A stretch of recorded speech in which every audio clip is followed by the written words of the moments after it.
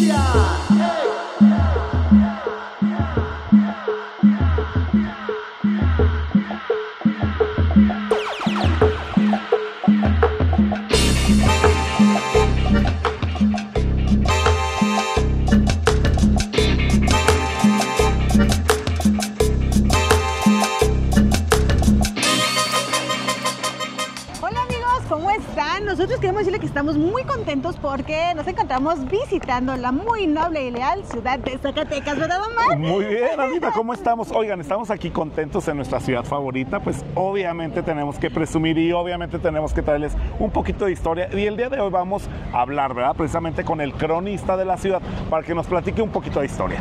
Es que amigos, pues estamos en este mes de septiembre, el mes más mexicano, más patrio. Y bueno, pues es que también aquí eh, en Zacatecas, lo que es el mes de septiembre, no solamente celebramos el grito de independencia, sino también es la fiesta de los zacatecanos. Ahorita estamos de feria. Estamos de feria, es la Feria Nacional de Zacatecas para que la gente venga, la estamos disfrutando, creo que dura aproximadamente dos semanas, tres. Como tres semanas. tres semanas nada más. Sí. Y estamos justamente viviendo nuestra este, feria.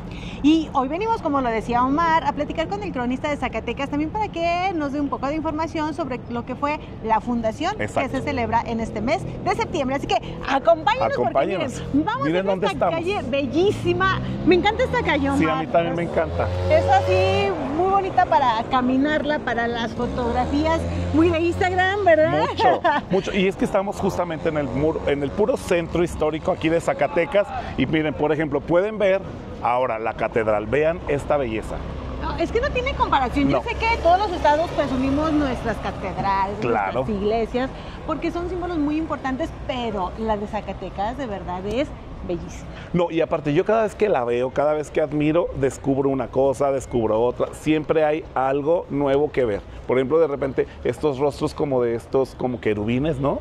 O sea, Sí. entonces, por ejemplo, no los había visto. Ve, por ejemplo, el de ahí abajo, yo no los había visto. Ahorita estamos en reparación, le están dando mantenimiento, obviamente, torres. a las torres, pero ahorita que nos platique también, ¿no? Ojalá y este, el, el, ¿Cronista? el cronista nos platique un poquito también de catedral.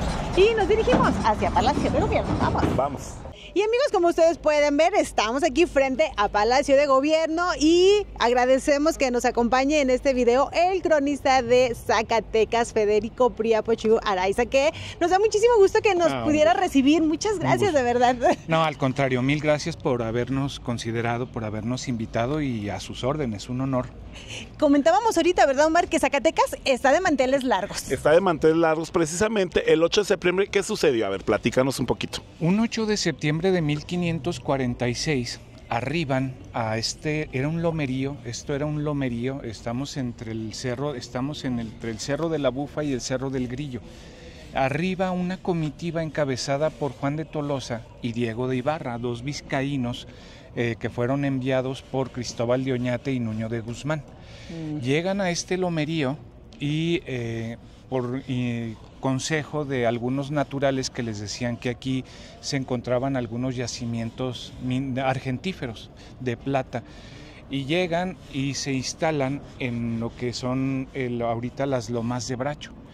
Cuando llegan est- esta comitiva, también venía Jerónimo de eh, Jerónimo, ahorita les recuerdo el nombre, eh, de Mendoza, Jerónimo de Mendoza, eh, venía, él era un franciscano, venía acompañándolos, llegan y los naturales huyen Ah. porque eh, los naturales habían participado en la guerra del Mistón y en la guerra en Juchipila, en algunas guerras allá en el sur de, de Zacatecas y creían que los españoles, que eran soldados que venían acompañados de algunos naturales del sur de, de nuestra entidad y de algunos franciscanos, eh, creían que venían por venganza. Ay, no, Entonces pues, huyen, se refugian en algunas chozas y se instalan, se sientan ahí y empiezan a convocar a los naturales a decirles que no venían en son de guerra, sino que venían en son de paz.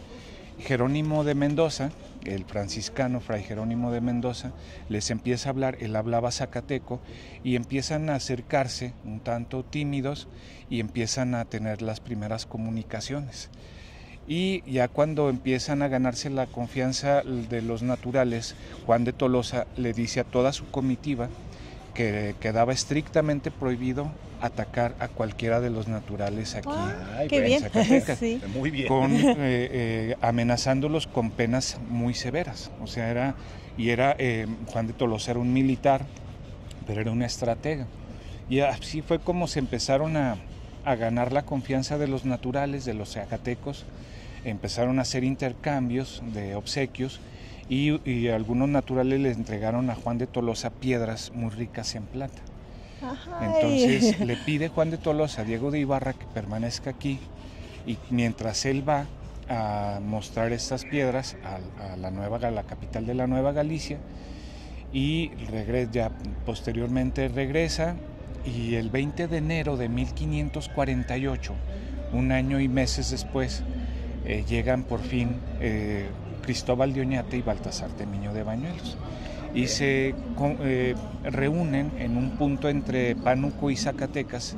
No está bien identificado ese punto, pero ese encuentro entre los cuatro descubridores, porque no fue ni conquista ni fue fundación. Exacto. Ese, ese encuentro entre los cuatro descubridores se toma por algunos historiadores como un- una fundación de facto, pero en realidad no hay una fundación de Zacatecas. No se Ah. puede hablar ni de una fundación de Zacatecas porque no hay un documento Que así, para que, así eh, lo, que así lo testifique. Eh, todas las fundaciones deben tener un acta, un acta bien elaborada en la que se instituya la fundación y aquí en Zacatecas No hay. no hay. no hay. Ah. Entonces no, puede, no se puede hablar ni de fundación ni de conquista porque el encuentro fue muy cordial. Entonces Ah, fue un descubrimiento. Se descubren los primeros yacimientos argentifi- argentíferos en este lomerío entre el cerro del- de la Bufa y Y el, el del grillo. y es lo que se considera el descubrimiento de las minas de los Zacatecas. Eso, el primer encuentro fue en el 8 de septiembre de 1546, que es el día de la Natividad de la Virgen María. Es el día del nacimiento de la Virgen María y es el día, ¿eh? es el día de Nuestra Señora de los Remedios. Entonces, desde ese momento se considera, se toma como, como patrona de las minas de los Zacatecas a Nuestra Señora de los Remedios, que es nuestra patrona original. Mucha gente piensa que es Nuestra Señora del Patrocinio. Sí. No, Eh, yo no, no, no. La patrona de Zacatecas es Nuestra Señora de los Remedios. Ella fue la que se tomó como, como patrona por haber llegado en su día. Qué interesante, Muy fíjese qué datos tan sí. importantes de poder compartir, porque de pronto hasta los mismos zacatecanos desconocemos parte de Sí, toda esa historia, ¿no? Entonces estábamos hablando de 478. Ocho. Son 478 años de aquel primer Wow. encuentro entre peninsulares, eh, indios aliados y eh, eh, franciscanos. Eso también es importante porque desde el primer día que se descubren, y eso también creo que contribuye mucho eh, a, que se haya dado un encuentro más cordial, por decirlo de alguna manera, Está padrísima Sí. esa idea. ¿no? este, que, venían, que venían franciscanos. O sea, desde el primer día empieza la evangelización de Zacatecas con Fray Jerónimo de Mendoza. Yo- es que se unió todo, ¿no? O sea, se unieron Sí. y eso me gusta que no dices que no fue como una conquista, sino que fue, se dio como muy orgánico, ¿no? Sí, Ajá. sí, fue muy, muy, como que ya estaba predestinado, yo me imagino. Es que podemos hablar que aquí no hubo violencia. Nadie se no hubo- resistió. Ajá, y eso es algo ya con bonito. el tiempo, porque después este, pues ya empiezan eh, a haber algunas defensas, pero mínimas. Lo que sí sucedía era, eran defensas de los, de los chichimecas, que eran un nombre genérico para todas las, las tribus, aquí eran sobre todo zacatecos. Este, pues ellos venían y atacaban, pero más con fines de asalto. Eh, se le procuró invitar a los, a los naturales a trabajar en las minas, no aceptaban, era una, eran de naturaleza seminómada, rebeldes, ellos pro- preferían estar Con en sus los, creencias y sus... en los cerros, en el eh, monte, Libres. eh, con sus taparrabos, felices, y para ello trajeron posteriormente indios mexicanos, o sea, de, de lo que ahorita es el Valle de México, el Estado de México, la Ciudad de México, trajeron indios mexicanos y posteriormente Tarascos de Michoacán. Entonces, cuando y de y Somos mezcla, somos mucha y mezcla. tlaxcaltecas. Entonces, el pri- en- cuando los primeros indios que llegan, invitados por los, por los españoles, fueron los mexicanos, los mexicas. Ellos sí quisieron venir a Eh, trabajar. sí, ellos ya estaban Ah. muy, muy relacionados con los, con los peninsulares, con- ya entendían sus formas de trabajo, Claro. eh, se les concedieron muchos privilegios para que llegaran a estas tierras y se establecieron en varios pueblos. El primer pueblo, por haber sido los mexicanos que llegaron, el primer pueblo o barrio fue el barrio de Mexicapa, que ahorita se acaba de declarar barrio mágico, que es un- el, el único barrio Es mágico. un barrio mágico, así como los pueblos mágicos que Sí. guardan algo, aquí es el barrio. Y esa capilla de Mexicapa es Eh. la capilla de indios más antigua de Zacatecas y está en perfectas condiciones Sí. considerando que viene desde finales del siglo XVI. Wow. Entonces sí, eh, posteriormente llegan los tlaxcaltecas, se instalan un poco más abajo y es el barrio de Tlacuitlapa y su templo fue Jesús, el templo de Jesús. Ahí fue donde se instala el barrio de Tlacuitlapa y posteriormente se instalan otras goteras, pueblos de indios o barrios de indios en Chepinque, en San Juan de Dios y en esta parte como yendo hacia Lete, eh, que es, era el barrio del niño. Ahí. Ah. Entonces, esos barrios son fundados por los trabajadores, por decirlo así, ¿verdad? Por... Eran, eran naturales, por eran naturales, indios eh. aliados que venían a trabajar a las minas. Y, y si hablamos de, de los españoles, los peninsulares, ellos habitaban aquí, lo que es el centro. Los peninsulares empezaron a habitar primero aquella región de Bracho, Ah, ok. eran chozas porque Uh, Eh, eh, eso también es interesante porque mucha gente le dice a Zacatecas Real de Minas y Zacatecas no fue un Real de Minas. ah, no. Un Real de Minas tiene la característica de estar bien debilitado y Zacatecas eran lugares muy Ah, eh, eh, eh, dispersos Sí. por lo que no se puede hablar de un Real de Minas sino simple y sencillamente de minas de los Zacatecas. Nada más. mira. Entonces los peninsulares empezaron a habitar acá, en, en lo que es el, las lomas de Bracho, eran casas este, pues deleznables eh, que se podían quitar porque pensaban que las minas iban a agotar rápido. Y que se iban a ir. Se Exacto. iban a ir. Ah, que por un ratito. sí. Cuando empiezan las primeras bonanzas, que eh, la primera bonanza se da cuando se encuentran estos cuatro eh, descubridores, este, se establece ya una diputación de minas, porque ya se veía que la bonanza iba a durar un tiempo, entonces había que administrar la ganancia. ¿Qué Ah. pasa? Aquí en esta región, que era casi un baldío, había una mina de una hacienda de beneficio. Y en esta región, el dueño de la hacienda de beneficio puso un Cristo, que le conocían como el Santo Cristo, un Cristo muy bonito en una capillita aquí. Y la gente empezó a, a venerarlo mucho, empezó a hacer milagros y se empezaron a establecer aquí los primeros peninsulares que eran los hombres pues más ricos de, de los, los dueños de Y las con más fe, ¿no? Yo creo también, ¿no? Y fue, con, y fue cuando se empezaron a construir las primeras casas que se les decía de cal y canto, o sea, ya las primeras edificaciones, como esta que tenemos acá. Esta que es un poco más nueva, este, pero estas ya son ya de aquella época, la casa de don Manuel de Retegui, la casa del conquistador que está en la calle Juan de Tolosa, pero era precisamente por estar cerca de esta, desde el Santo Cristo, aunque ya había una capilla allá Mm. en, las- en las lomas de Bracho.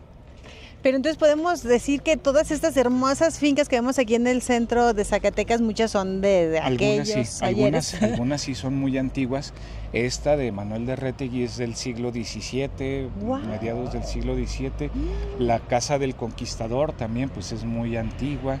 Esta ya sufrió modificaciones en el siglo XVIII, Ah. en el siglo XVIII, pero también eh, se, se empezó a habitar ya desde finales del siglo XVI.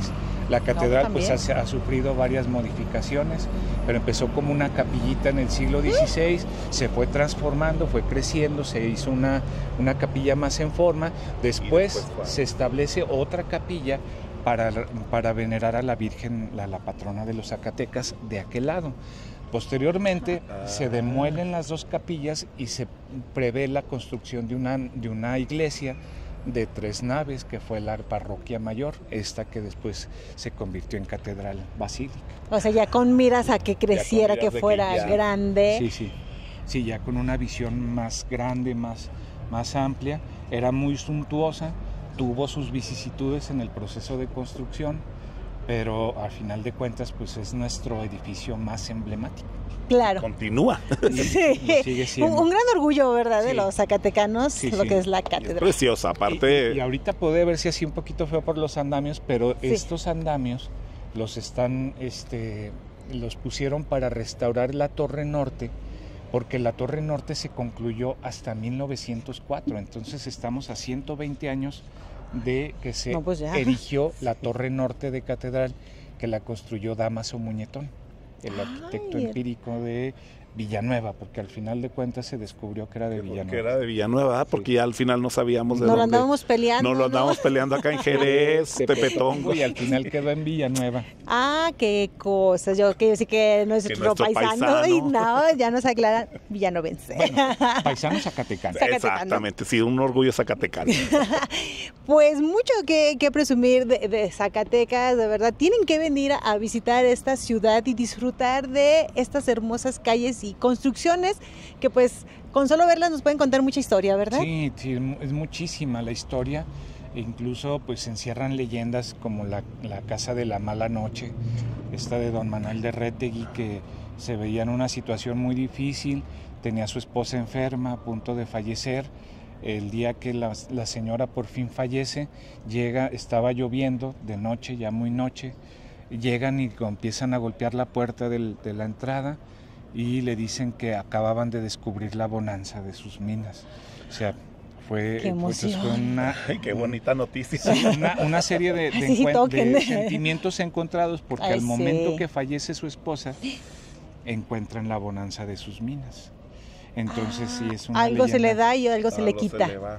Pero eh, eh, históricamente esta, este edificio es, tiene una riqueza mayor porque fue donde nació el Estado de Zacatecas. Aquí se decretó la creación del Estado Libre y Federado de Zacatecas.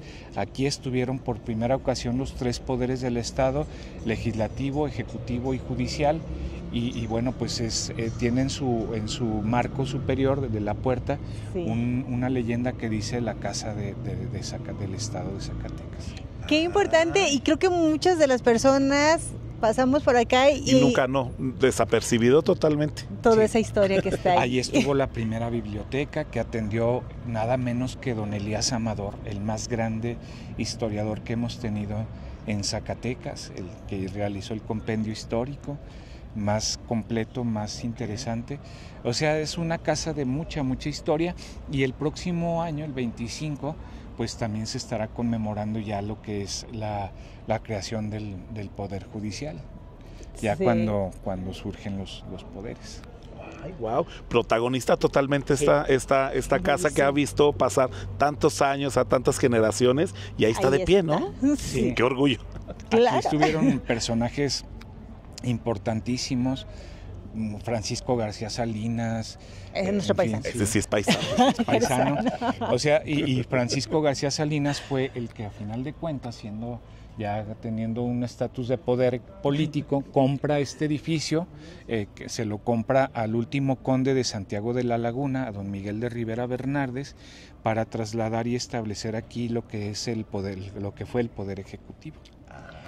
Por ello, amigos, Zacatecas, si ustedes quieren visitar un lugar lleno de historia, tradición, magia, leyendas, cultura, belleza arquitectónica, es Zacatecas, ¿verdad? Y mucha cantera, sobre todo mucha cantera rosa, También otro orgullo. ¿De dónde viene la cantera? Que nos platiques un poquito de dónde extraen tanta cantera y, y por qué este tono. Por, por, lo regular los cerros que circundan a Zacatecas tienen esta, este tipo de cantera. Estos son canteras de varios municipios aledaños a, la capital y son, son vetas de cantera muy muy ricas con estas con estas características este color. tono, ¿verdad? sí es un color muy peculiar que no no yo no lo he visto en, en, otro lugar. exacto. Este sí es algo porosa la cantera sí es algo porosa por eso es importante que, que se cuiden nuestros patrimonios porque al momento de dañarlos para restaurarlos se le tiene que hacer un daño. Sí, al- se- Claro. se, desgasta, Sí. lo vas desgastando se poco va a poco, ¿no? desgastando. Y bueno, pues en ese sentido sí invitar a todas y a todos a que cuidemos nuestro patrimonio. Este, se vale la libertad de expresión, por supuesto, pero sí Pero cuidemos. También, también se vale el respeto a nuestra Cierto. historia, ¿no? Sí, que es al final de cuentas lo que nos da la identidad. No, pues de verdad muchísimas gracias por esta explicación. Yo creo, señor cronista, que cada edificio va a tener una historia y un video que pudiéramos hacer, ¿verdad? Sí, sí, Porque sí. ahorita fue una pasada así, Abuelo de pájaro. abuela de pájaro. Sí. Pero ojalá nos pueda acompañar a más videos para poder seguir mostrando más de esta bella ciudad. Claro. Que, que también dicen que Zacatecas se conoce que, ¿cómo le dicen? Corazón de plata y Corazón sonrisa de, plata, cantera. Rostro de cantera y corazón de plata. Esa era la idea. porque podemos seguir hablando más de esta hermosa ciudad y porque también de la historia de este Del edificio. Sí, del edificio, catedral, la casa de don Manuel de Rettegui, en fin, todo, o sea, a- no hay rincón a- en Zacatecas al que vayan y, y no tenga una historia fascinante. La Sí. verdad vale mucho la pena que se den una vuelta por acá, la disfruten detalladamente. Creo que una característica de Zacatecas es que es como un buen vino. Un buen vino no se puede tomar así. ¿Es cierto? De un shot. De un shot, no. No. Hay que darle traguitos, saborearlos, degustarlos. Así es Zacatecas. Es una ciudad que vale la pena detenerse. Es una, yo, yo la comparo con una mujer hermosa, eh, pero que tiene su cierta coquetería, porque a cada, a cada eh, mm, eh, volteo que hacemos, a cada giro de, de cabeza que hacemos, a voltear a verla, hay un guiño, nos guiña, Nos coquetea. gui- nos coquetea. Es cierto. Y, y así, o sea, vemos por allá, vemos ese detallito que está Sí. en, la, en, la- en el remate aquel, o vemos las conchas que están acá, o vemos estos ramos que cuelgan en, las, en los marcos, En de, las marcos de las ventanas. En fin, vemos Cierto. un escudo bellísimo que es como el escudo de Zacatecas. O sea, do- a donde voltemos eh, hay, un, hay un guiño que nos hace nuestra ciudad. Por eso tienen que venir, tienen que disfrutar de Zacatecas y lo decimos, es un lugar para venir a caminar y A paso a caminar pasito mucho. lo van a Y a disfrutar. disfrutarlo, a disfrutarlo. Sí, la verdad, se disfruta mucho cuando se camina. Sí. cuando se camina. Y las horas, digo, cualquier hora del día es bonita para caminarla, pero Muy temprano, muy Ah. temprano o ya en la nochecita es cuando también. Como tarde noche, ¿no? En esa, en esa hora de que va oscureciendo, que lo- porque luego también se ilumina. También una característica muy bonita. Yo creo que pocas ciudades también tan bonitas iluminadas con estos eh, faritos amarillos le da una calidez increíble. Y, y hablando de la cantera, otra característica que tiene esta cantera es que conforme pasan las horas del día, cambia su tonalidad. Ah, O sea, la tonalidad va cambiando. conforme Si, si ustedes ven ahorita el- el- la, Sí. la cantera tiene un color, más tarde adquiere otro color. O sea, esa es otra belleza, otro, otro plus que tiene eh, la cantera. Háganlo. lo vamos a hacer, no lo he analizado, vamos a analizarlo. Sí. Y pues no nos resta más que agradecerle No, y lo queremos comprometer de que nos Claro. acompañe a No, más videos. A más vide- obviamente más videos porque aquí tenemos, miren, está, hagan de cuenta que estamos hojeando un libro de historia, pero nos lo está resumiendo en pocas palabras, ¿no? No, un gusto, la verdad, cuando, Muchísimas cuando gracias. gusten, la verdad, mil gracias por esta consideración. No, al No, al contrario. contrario. Continuamos, amigos. Bien amigos, estamos llegando aquí con el burrito del agua miel. El burrito del ¿A cómo aguamiel. los vasitos de agua miel, oiga? En 20 pesos, Ah, bien barato. sí, muy bien. Vamos a ver. Más y más bueno, ¿verdad que sí? Más saludable también. ¿Usted. ¿Usted saca el aguamiel o quién? ¿Quién lo hace? No, nosotros hacemos todo el trabajo. Todo, parejito. ¿A qué hora comienza? ¿A qué hora comienza? Ay, oiga. Eh, a las seis. A las 6 de la Sí, a mañana. las seis. ¿Y a qué hora ya anda vendiendo aquí? No, ya vinimos tarde, como a las nueve más o menos. Eso es tarde, ¿eh? Para muchos es la hora en que nos levantamos. Yo apenas ando abriendo un ojo a las 9. Pero para usted dice, no, eso es ya tardecito. Oiga, la gente que no sabe qué es el aguamiel, a ver, platíquenos qué es el aguamiel. ¿De dónde lo Eh, extrae? Vente, Esta James. la extraemos del maguey. Del maguey. Pero ¿cómo es el proceso? A ver, cuénteme un poquito. Uy, pues el proceso. Ese es bueno, diga. Sí, es O muy sea, sí, en largo. resumen. Sírvale, sírvale a Omar su vasito de aguamiel. Es muy largo. Qué el rico. proceso, oiga. ¿Cómo le hacemos? Es que verdad que no es sencillo, No, eh, lleva no. su trabajo, por eso les digo que es sumamente barato el que nos vengan a vender un vasito aquí hasta el centro en solo 20 pesos. Aparte, bueno, es refrescante, un sabor dulcecito, que ahorita Omar nos va a decir qué tal. Vente James, bueno también el James anda acá. Para la salud, ¿verdad? Ay, qué rico. ¿Con esos? Sí, con esos Oiga, dos, ¿sabe sí, que está súper rico? Está dulce, pero no tan dulce. No empalaga, está bien no, no, rico. no. No, está, está de moda tomarse bien. Porque mucha gente reniega cuando viene muy dulce. No, ey. eh, cuando está muy dulce. Pero ¿de qué depende lo dulce? Así sale ya. ¿Depende el maguey? ¿Depende de eso o qué? Sí, no, va dependiendo el maguey. Ok. El maguey y. Ay. O sea, porque hay veces que viene muy dulce y reniega la gente. Eh, Pero pues ya no depende tanto de ustedes, ¿verdad? Pues ya es del maguey. Sí, ya es Solo del que le eche agüita para que se le Sí. quite lo dulce, un hielito. Para que. Oiga, ¿y, y ya muchos años vendiendo aguamiel? Como 13 años, 15 años más o menos. Siempre anda por aquí por el Eh, centro. ¿Dónde lo localizamos? Para la gente que nos está viendo, ¿dónde más o menos siempre anda? No, aquí, aquí estoy. O sea, llego aquí y de aquí no me muevo hasta que no termino. Ah, aquí en esta esquina. En esta esquina. En la calle de Aquí, Allende, ¿verdad? en la- y allá me cambia aquí. Con Portal de Rosales. Sí. Ubiquen el Portal de Rosales y aquí en la esquinita está el semáforo. La, la Hidalgo. Esta calle se, se llama la Hidalgo. Ahí está. Y para que vengan y tomen su aguamiel aquí en Zacatecas. ¡Salud, brinde! Salud. salud, salud, señor. Está bien rico. salud. Tenía muchísimos, muchísimos años que no tomaba aguamiel, muchísimos. Ah, pero sí, amigos, no pueden venir a Zacatecas sin- y irse sin su aguamiel. Qué rico. digo por qué, porque es- esto es buenísimo, es, es diurético, te ayuda a limpiar grasas, este, te, te ayuda mucho con tu sistema inmune, la gastritis es súper recomendado y vamos, te ayuda a prevenir un montón de enfermedades gastrointestinales. Así. Ay, súper bien. ¿Todo el año hay aguamiel? Eh, pues sí, casi todo el año. En tiempos de agua le paramos. Y ya en mayo ya es poquito lo que traemos porque ya fermenta en el mismo maguey. El. Ah, ya queda Por el calor. sí. Ya sale Eh, pulque de ahí. sí, Ya. ya- Ya sale el pulque, y de aquí sale el pulque, ¿verdad? Sí, todavía viene blanca, miren. Y ya, ya hace frío, pero no, aún no sale buena todavía. Hasta que comience más, o sea que cargue más el frío. Ok. eh, ya va a venir más, más buena, más. ¿Su nombre, señor? Luis Mireles. Don Luis, pues muchas gracias. Y a Gracias. seguir ofreciendo Muy el rico. acá en Y el burrito, qué bonito. Gracias. Amigos, y es así como llegamos al final de este video. Y estamos aquí justamente, queremos grabarles aquí justamente en la calle Aguascalientes, que está a un costado de Catedral, ¿verdad, Almita? Sí, es que aquí está un estacionamiento muy, muy cerquita. Muy cómodo. Muy Ay. cómodo, es un estacionamiento grande, sí caben varios vehículos para cuando usted visite la ciudad de Zacatecas.